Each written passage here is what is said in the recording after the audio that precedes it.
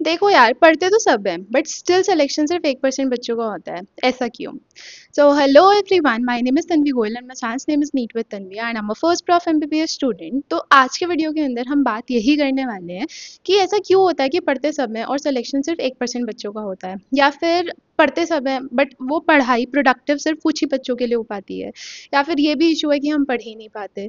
तो आज हम इन चीज़ों के बारे में बात करने वाले हैं। यार देखो, अगर तो तुम ये सोचो ना कि तुम्हें नीट क्रैक करना है।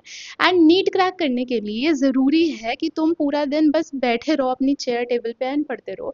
तो ऐसा नहीं है, ठीक है? मतलब एक पॉइंट ऑफ़ टाइम पे जाके ऐसा हो जाता है, जैसे कि आपका एग्ज़ाम मे में है तो मार्च से ऐसा हो जाएगा। बट मार्च से पहले तक ऐसा होना इज़ नॉट ज़रूरी, ठीक है? एंड मार्च के बाद भी ना इसकी इसका लेवल जो है ना, वो वैरी करता है। अगर तो मार्च से पहले तक आपने अच्छे से पढ़ाई करी है, ठीक है डेली आप थोड़ा थोड़ा करते आ रहे हो तो मार्च के बाद आपके ऊपर इतना बर्डन नहीं होगा। बट अगर आपने पहले बहुत मज़े लिए हैं, ठीक है तो उसके बाद फिर आपको होगा कि हाँ अब आपको सारी चीज़ें जो हैं, वो एक साथ कवर करनी है तो मार्च के बाद आप ज़्यादा देर बैठना शुरू कर दोगे। तो यार देखो, ऐसा ना कोई फिक्स ड्यूरेशन ऑफ़ टाइम नहीं होता है कि यार दस घंटे ही पढ़ना है या बारह घंटे ही पढ़ना है।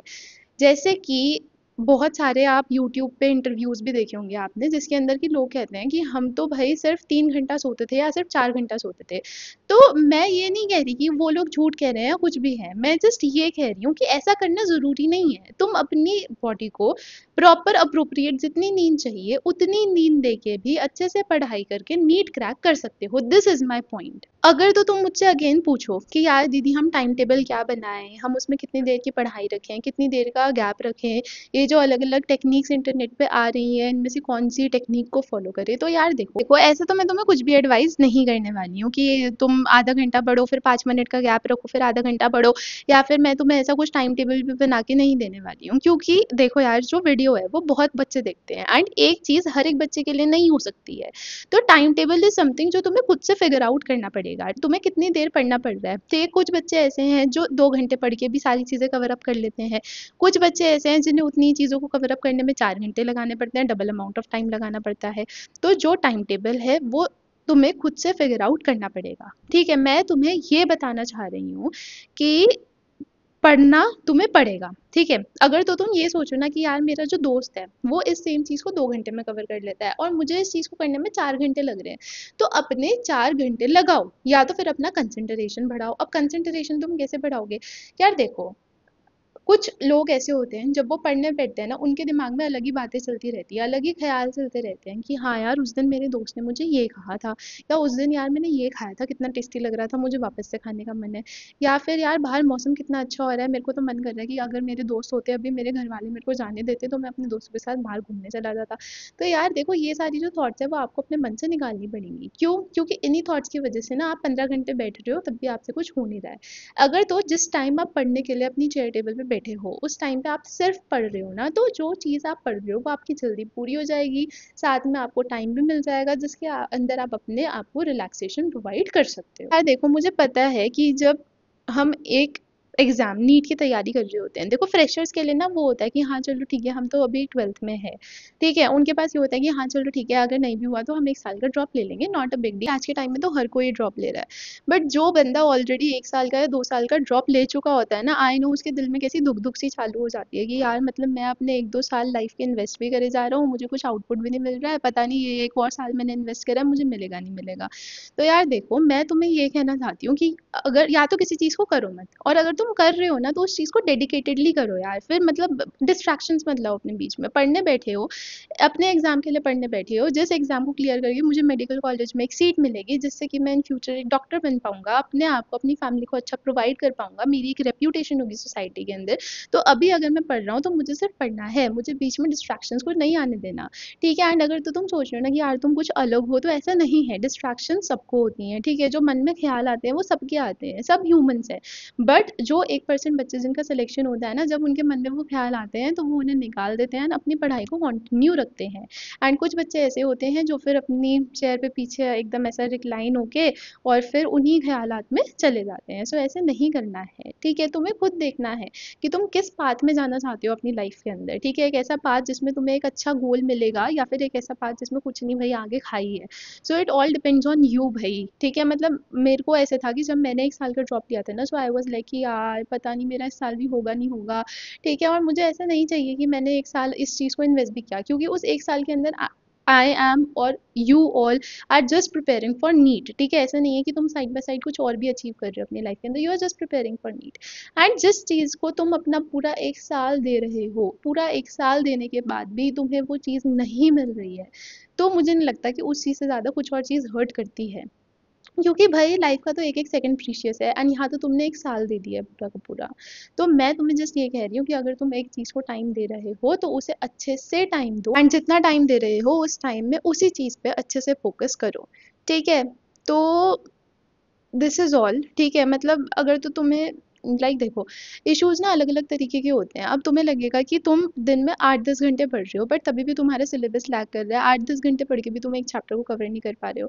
तो उसमें तुम्हारी इशू कहाँ पे है? तुम्हें तुम्हारा इशू है स्पीड में। तुम्हें अपनी स्पीड इंप्रूव करनी पड़ेगी, अपने टाइम को बेटर मैनेज करना पड़ेगा। क्योंकि आठ दस घंटे तुम दे रहे हो, ठीक है? वो अच्छा खासा ड्यूरेशन ऑफ़ टाइम है।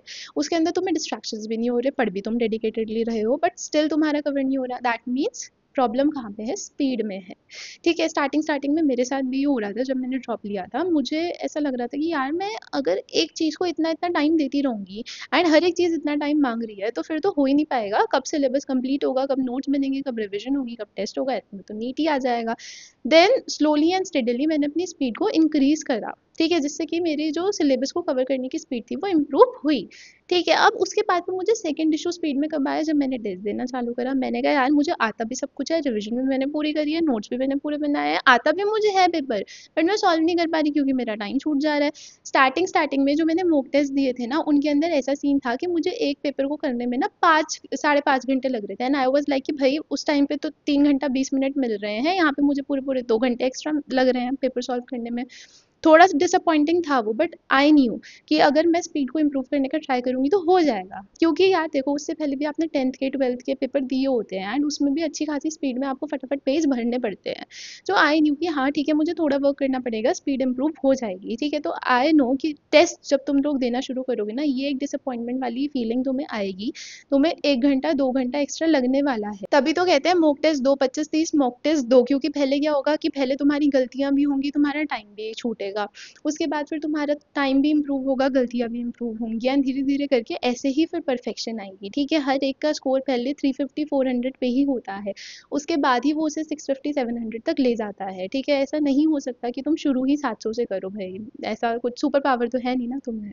ठीक है, अभी तो सिंपल सी तुम्हें इस चीज़ में प्रॉब्लम आ रही है, तुम्हारा सिलेबस पूरा नहीं हो रहा है देन तुम एक्सपेक्ट कर रहे हो कि पहले टेस्ट में तुम्हें सात सौ नंबर आ जाए। नॉट पॉसिबल भाई नॉट पॉसिबल ठीक है so this is it for this video I hope so कि यार देखो प्रोडक्टिव ठीक है, किसी चीज़ कोई चीज़ प्रोडक्टिव हो सकती है, नहीं हो सकती है that completely depends on you अगर तो मैं तुम्हें इस वीडियो में कहूँ कि तुम्हें बारह घंटे पढ़ना है, कोई बच्चा मेरी बात सुन के टेबल चेयर पे बैठा हुआ है बारह घंटे बट बारह घंटे में से ध्यान उसका सिर्फ़ दो घंटे ही लग पाया, वो तो कहेगा कि हाँ जी, मेरा तो दिन प्रोडक्टिव हो गया दीदी ने कहा था बारह घंटे बैठना मैं तो बारह घंटे क्या तेरह घंटे बैठा हूँ। भाई तो ये तो देख तो उन्हें पढ़ा उसके अंदर उतना है जितना एक नॉर्मल इंसान दो घंटे में कवर कर लेगा। ठीक है तो तुम्हें उस चीज़ पे फोकस करना है, ठीक है? मैं तुम्हें कह रही हूँ कि तुम अपना डेली का गोल सेट करो, ठीक है? डेली का टाइम कभी भी सेट नहीं होता है डेली का गोल सेट होता है। डेली का गोल सेट करो, आज मुझे ये ये करना है। अब वो करने में तुम्हें हो सकता है, वो तुम्हारा चार घंटे में हो जाए, हो सकता है, उसमें तुम्हें करने में बारह घंटे लगे।